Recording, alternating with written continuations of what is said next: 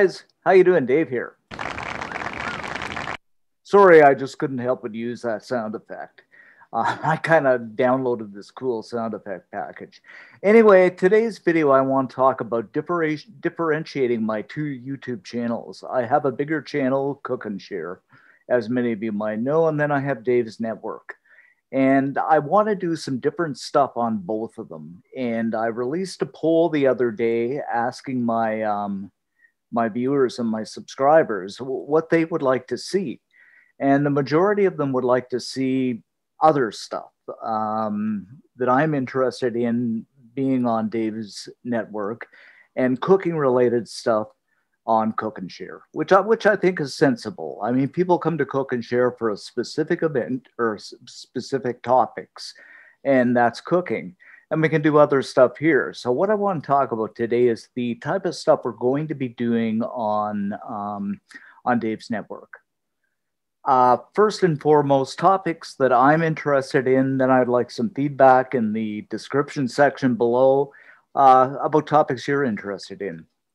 And something I like to do, and I know the market is filled, and I know the YouTube platform and other platforms are filled with this topic um, and that's starting your own YouTube channel.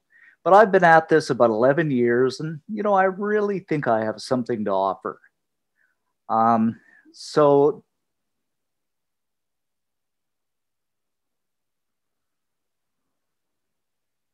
So let's talk about starting your own YouTube channel.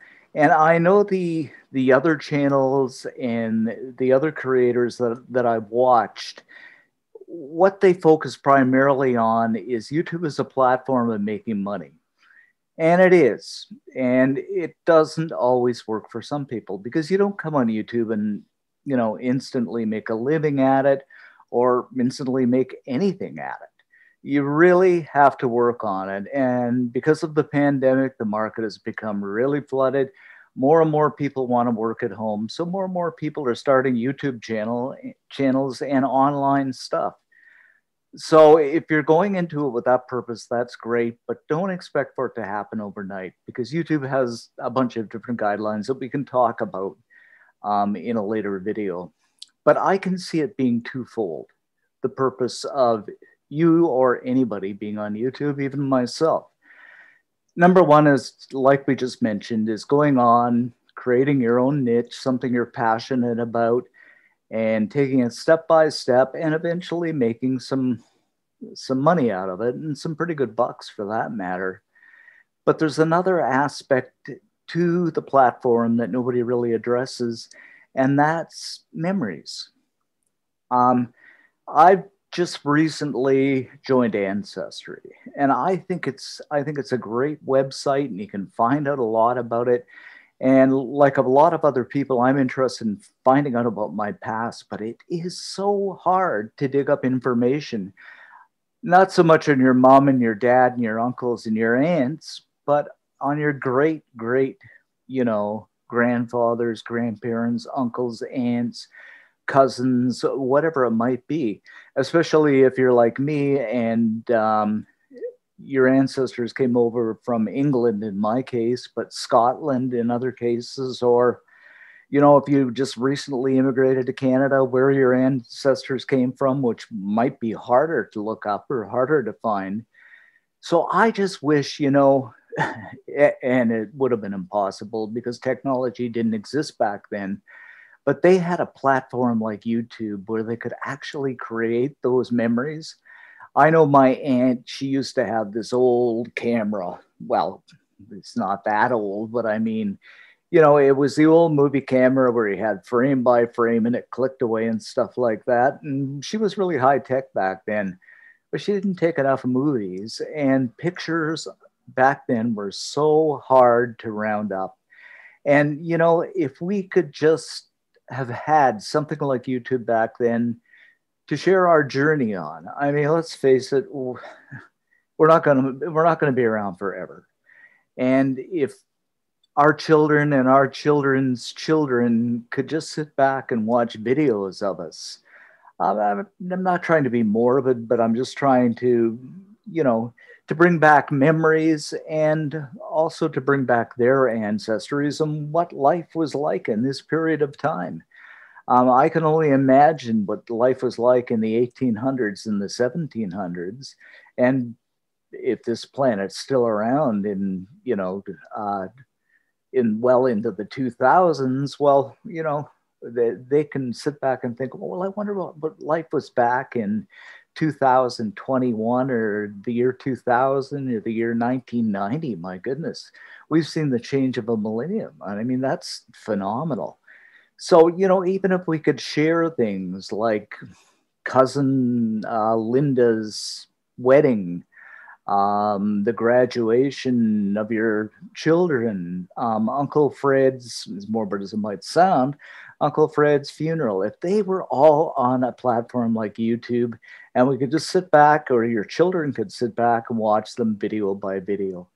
To me, that's another important aspect of the platform and something you could be doing, not even worrying about money, just worrying about your journey, recording your journey through life and the memories.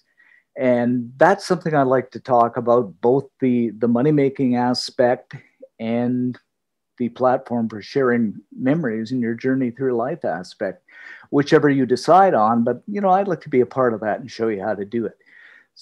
So that's something we could very well talk about on Dave's network, spend a few videos on that. It's not an easy process. And, and YouTube, the platform itself is becoming more and more complicated all the time, always introducing algorithms and new tools and whatnot.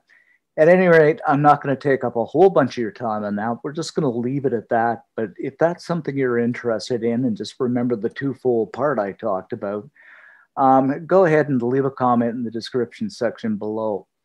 Um, secondly, something I like to produce a few videos on. I'm a bit of a techie guy, and I've recently created my my own smart home here. So I, I do have the Google Nest and I have the Google products. So I can just say, you know, I, am not going to say the actual command because it'll bring the whole system to life. But uh, Google, uh, you know, turn off the office lights, turn off the living room lights, turn on the bathroom lights, play this song, play that song. Uh, a whole bunch of commands lock the doors look up a recipe on um, you know who was the prime minister of canada in, in 1932 and it all comes it all comes through and it works beautifully. And i'm not saying you have to do it on google. You know you could do it on alexa um, amazon alexa. Uh, there are different ways you can do it. I mean i even control my tv with it. Some people might get to the point where they get all worried and paranoid that, you know, Google is listening to us or or Amazon is listening to us and recording our information. Well, I I don't know. And to tell you the truth, I really don't care. I don't have anything to hide. I mean, they can record all they want. If it makes life easier for me, so be it. But, you know, some people are a little leery about that, whatever it might be you know, some people have come to the point where they've got a smart home and people come into their home and because the devices the nests and whatnot are sitting there they say um, be aware you are being could be could be. They don't say you are but you could be being recorded. I think that's a tad on the ridiculous side. You know why not sign a slip when you walk in the door or a waiver or something like that I mean, it just makes life easier. It's kind of cool to play with. So if you want, we could do a few videos on that and just show you how to set that up and how I set mine up, or at least how mine works. Not saying you have to do it, but you know, for about 300 bucks, you can set up this beautiful smart home and I mean, you, you can get to the point where it'll turn on your tap and know how many liters it takes to fill up the dog bowl and what temperature you like your bath and lock your doors and say, Google, show me the outside camera, and it'll show you the outside camera. Uh, tons of stuff you can do on it. Uh, maybe a bit, maybe a bit lazy, but it, but it's fun to play with. So that's another topic we could do. Uh, number three, I hope I'm holding up three fingers there. Is that three? Yeah, that's three. Uh, we could talk about gardening. I really like gardening and I like to merge that with outdoor living. There's nothing nicer on a beautiful summer's day or a beautiful spring day or autumn day for that matter, sitting outside in a comfortable chair, you know, um, listening to music or what it might be, having a cup of tea, a cup of coffee, a glass of wine, you know, wh- whatever you like to do. Just watching the birds and stuff like that, looking at the flowers that you've planted and enjoying your garden. I'm going to start my gardening as soon as the weather gets warmer. And so I just like, you know, to watch things starting from little wee tiny seeds and buds and growing into beautiful flowers and then arranging them and color coordinating them and all that jazz. That's something else we could do. We could talk about vegetables. Nothing greater than eating your own vegetables out of your own vegetable garden. Um, I'm kind of into that type of living too. Um, if I could, I'd move up to Alaska and have my own frontier up there, my own homestead, and, and grow my own chickens and have my own eggs and my own garden and whatnot, and build my own house. But getting a little old for that. Um, yeah, I got a birthday coming up tomorrow. Yeah. Thank you very much. And so, you know, nobody gets any younger, that's for sure. Since we only get older, we never get younger. Maybe Google can work on that too. Let's flip over to Cook and Share for a second. We've talked about, you, have got a general idea of what we want to do on Dave's Network. Um, Cook and Share.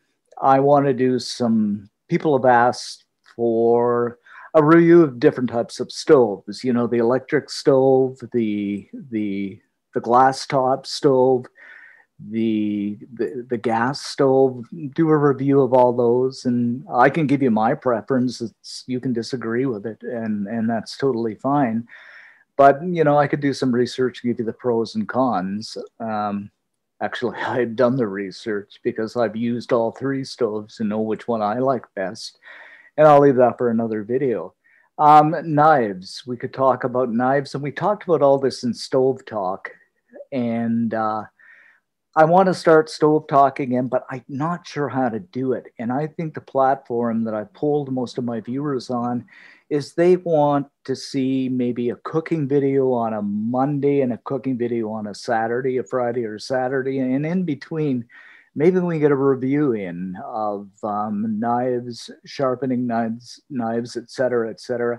I don't want to get to the point, guys, where it's a sales pitch where I'm saying this is a beautiful knife. It's only $159.95, and I want to sell it to you.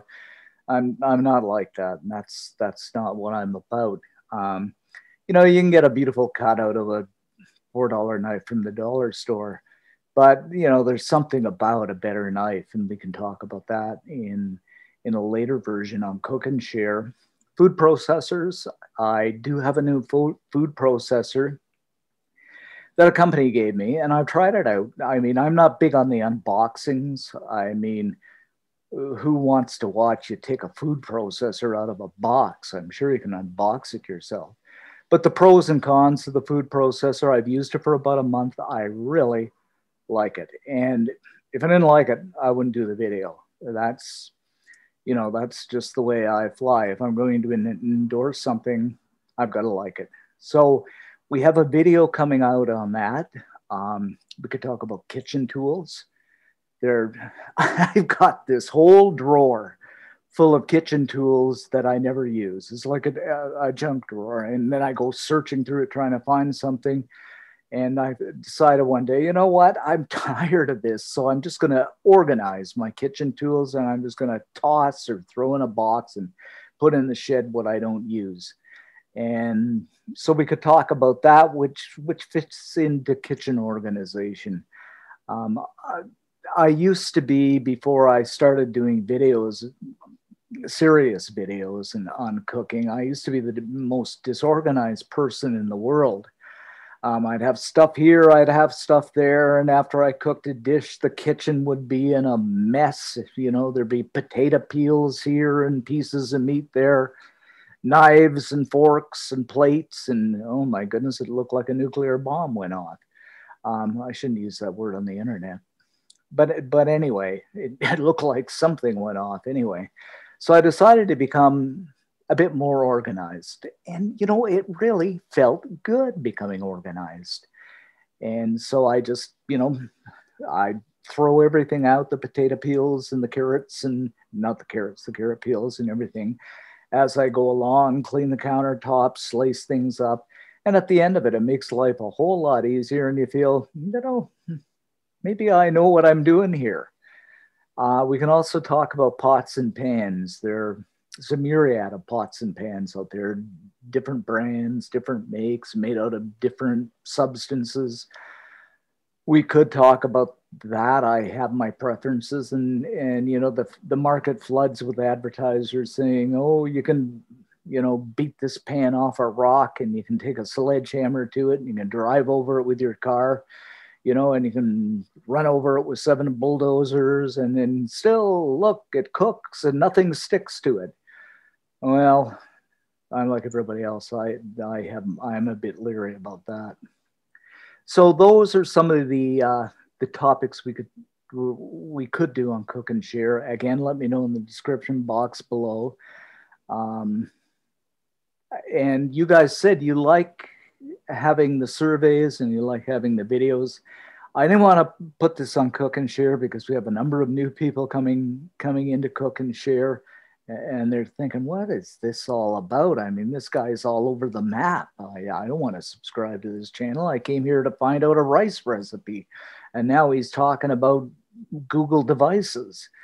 So I, I think we'll, like I said, to recap, we'll leave that kind of talk, the gardening, the the starting your own YouTube channel, uh, even travel, which we could do, all to Dave's network. And if you want to find out more about what I'm about, I'm, you know, you're so inclined, um, and my interests and stuff like that. Maybe you share the same interests, maybe you don't. Um, come on over to Dave's network and we'll talk about it there, here.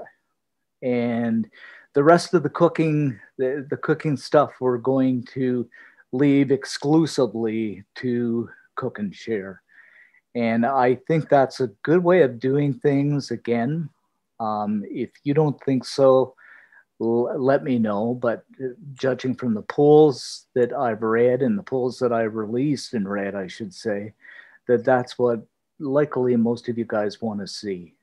So again, you can let me know. I'm going to re release this video. And uh, thanks for watching, guys stay safe. Think the world of you guys and keep on watching. See you next time.